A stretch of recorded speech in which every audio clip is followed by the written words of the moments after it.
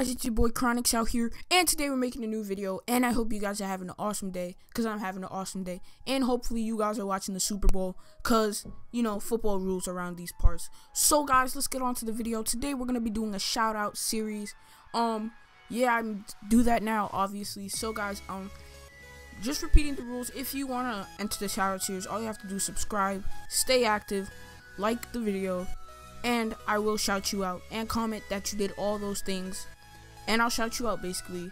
No hassle. I'm not subbing for subbing and all that stuff. So guys um let's get on to this. So first we have gaming walkthrough. And as his name implies he does do gaming walkthroughs. And they were actually very good. His commentating would be better. If he did commentating it'd be better because it would like you know mesh with his gameplay and make it even a better video.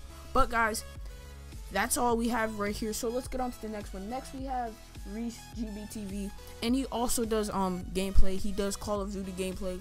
I think most of these people are Call of Duty gameplay, but he does do Call of Duty gameplay, and it's actually very good. And he should also add commentary to it to make it even better. So let's get on to the next one. Next we have Alexander Lanfe. He does not do Call of Duty gameplay. He does Call of Duty gameplay, but he does everything else. He does Call of Duty, Roblox, Minecraft, etc etc whatever you want to call it and it would be better too if he had um commentary and made his videos longer because they were like 20 seconds 30 seconds. But i think he should make them longer. Let's get on to the last one. Last but not least we have onyx clan.